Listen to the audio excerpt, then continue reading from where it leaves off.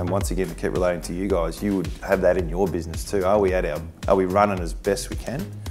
Or are we just setting things up so in a couple of years we should be right where we want to be?